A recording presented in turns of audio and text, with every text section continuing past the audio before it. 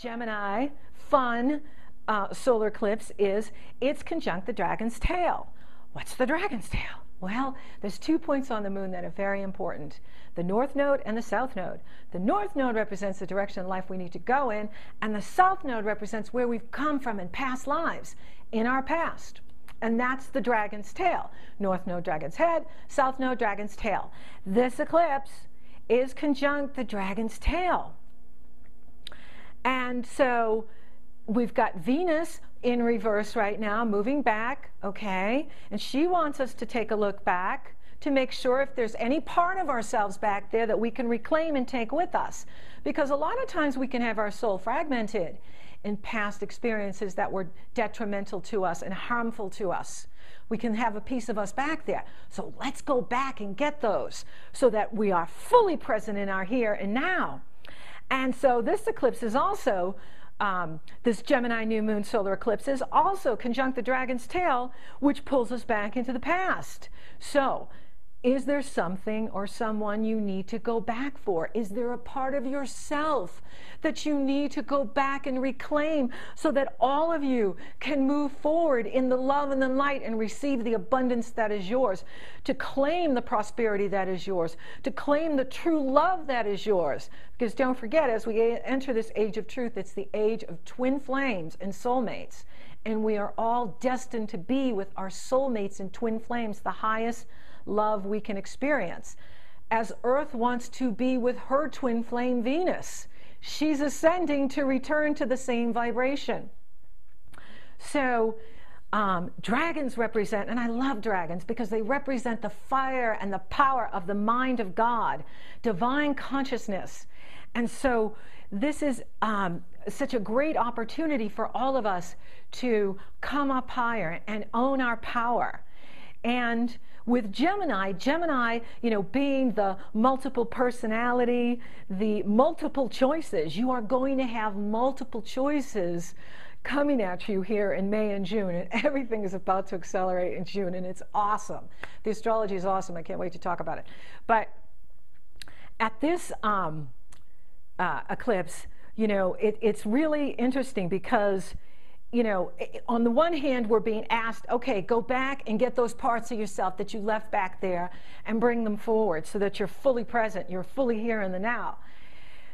And then, um, on the other hand, you know, a, a, new moon and eclipse means new beginnings, new starts, right? Uh, starting new things, starting new projects, moving out. Eclipses call us to action. So, I think it's very important that we practice the law of detachment, okay? Because we don't help people when we jump in with their grief. Now, I'm not saying don't have compassion in your heart. That's not what I'm saying. What I'm saying is that if someone's at a low frequency grieving and you dive in there with them, you're now in that level with them. You can't pull them up, you can't pull yourself up. Compassion is you stay in your vibration and you throw them a rope Okay? Now, whether they choose to climb out or not, that's their free will choice. Everyone has free will choice. Um, so, when you practice detachment, what you are doing is you are empowering yourself, and therefore you are empowering others to come up higher if they choose it or they don't. Again, you know, we love everyone, but everybody's, you know, has to choose for themselves where they're going to be. So, here is four steps to the law of detachment. And you can find this in the uh, newsletter, the, the newsletter I have, that will be sent out, the uh, Gemini May uh, solar eclipse for this video. Okay, so the newsletter that goes with this video, you can find these steps there. Okay, so the law of detachment. When it begins, it, life, work, relationships, situations, etc., whatever it is, when it begins, it, okay, is always right.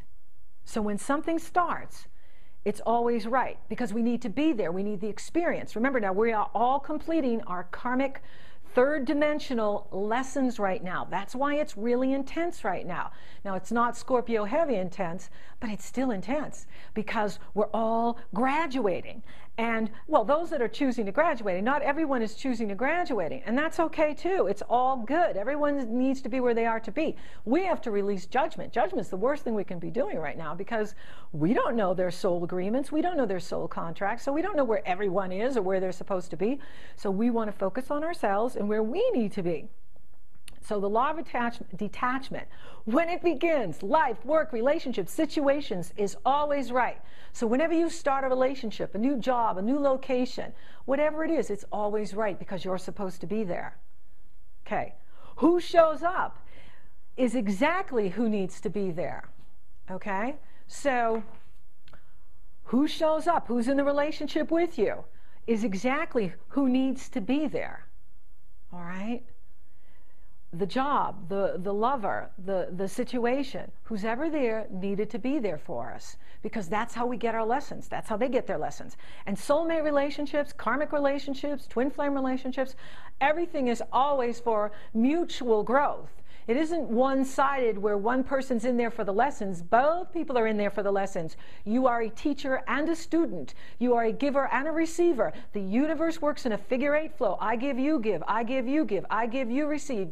You give, I receive. And so that's how the universe works. And so whoever shows up is exactly who needs to be there. Now this is the this is the good part here. What happens is the only thing that could have happened. You see? That is the truth, is that the way events unfold is the only way it could unfold. A lot of times, what do we do in hindsight? Oh, shoulda, coulda, woulda, shoulda, coulda, woulda. You know, and that's not fair to us because I believe everybody does the best that they can with what they have at the time. We all do the best that we can with the tools that we have, the knowledge that we have at the time. Of course, those that know better do better, and we always know better after it's over. But while we're in it, we're in our karma, we're in our lessons, we do the best that we can. So what happens is the only thing that can happen. Okay? And we need that lesson. So if you keep getting fooled by people, then we need the lesson of, well, why do I keep getting fooled? Why do I am so naive? Why do I keep believing this person or this this type of person? You see? And so that's my lesson to not be so naive and and to trust my gut, trust my instincts. That when my instincts say, "Hmm, she's not walking her talk," or she's not, you know, when people don't do what they say they're going to do, that's always a red flag for me. So when someone says they're going to do something and they don't, that's always like, "Whoa, okay, that's who they are." Okay, and so when you're involved with people like that, what happens is the only thing that could have happened. And number four, when it is over, it's over. And that is the law of detachment is when it's over, it's over. So we don't want to go back and rebirth a painful experience and relive that same experience, especially when you're going to create the same outcome again, right? What's that saying? You do it over and over again, expecting a different outcome? It makes you crazy. And trying to understand why people do what they do, that can make us crazy too. You see? And so now we're moving into the fun summer energy of Gemini, Sagittarius. So let's have fun. Let's lighten up and let's ride the wave of our karmic lessons. Let's ride the wave of this new energy because it's an awesome energy. And chaos is not bad because out of chaos is the birth of the new economies, is the birth of the new governments, is the birth of the new you and me. And so this is our divine opportunity to release the past, let go what no longer serves you. The more you let go, the more you can be filled with light. And the more light you're filled, the more happy you feel, the lighter you feel, the better you feel. And the more fun you are to be around. So Eclipses are powerful turning points in our lives where we are to make big decisions. And so go back and get that part of your soul that you may have left back there in some past experience or experiences and reclaim her. Take her back and move forward and forgive yourself for whatever you've had to go through and know that the outcome was the only outcome that it could have been. And enjoy this new eclipse. Use the um, alchemy of creating what you want. But remember, every day we have to focus on what's working. Now, I'm not saying don't embrace your negative side or deny you got a shadow side, because I know there's light, light bearers, light workers that do that too. That, oh, you know, we're just going to do this Pollyanna, I'm so positive and ignore my dweller over here. No, I'm not saying do that either. Own it, claim it. If you got a dark side, own it, claim it. We all do don't make an orphan out of it. You see, because that that can happen too. Is where it's like, well, I'm not going to look at my dark side. I'm not going to look at you know that negative part of my personality because it's it's not light. You know, is is it's part of me. I, I, I own it. It's mine. I take it. You see, that's how you become whole. We don't become whole by just focusing on the positive and not acknowledging you know the shadow that we're carrying or the grief that we're carrying. We want to acknowledge it. We don't want to give it power over us but we do want to own it. We want to it's part of us okay? So so that's how we become whole is we put our arms around all parts of self the good the bad the ugly and the beautiful and that's what makes us who we are. We're human beings. We're not we weren't sent here to be perfect. Gandhi wasn't perfect you know, the greatest people that have ever lived on this earth, if you know them personally, they got flaws. They, they drank too much. They smoked too much. They did all kinds of weird things. But they're ascended masters now. They're great cosmic beings. And so their heart was in the right place. Their intention was in the right place. You know, who comes to me right now is Walt Disney. You know, Walt Disney what a great guy. What a great man. What did he give us? He gave us imagination. He gave us the power to believe in our own magic. And I do believe that he um, was a smoker, and, and that may even be what, you know, he crossed over from. So I can't say for sure that that was what, you know, crossed him over, but what a great man. Look at the legacy he gave us. Look at how he opened our imagination and rekindled our spirit and our ability to create. And he is now an ascended master. So you don't have to be perfect to ascend. It's not about being perfect and having perfect personalities and having perfect health habits and diet habits, although we want you here as long as possible. It's about your heart being in the right intention and doing what's right for you and being who you are. That's your that's the, all that you're here to do is to be who you are. You are the gift. So when you are being your authentic self, you're, you're living your divine plan, you're living your destiny, you're living your life purpose by being you and, and being the greatest version of you. And, and that's something that we become on a, on a daily basis as we, as we work at it. So, you know this this gemini solar eclipse and then the lunar eclipse you know prime creator is opening up the heavens we are aligning with the galactic center and the love light energy is pouring into us.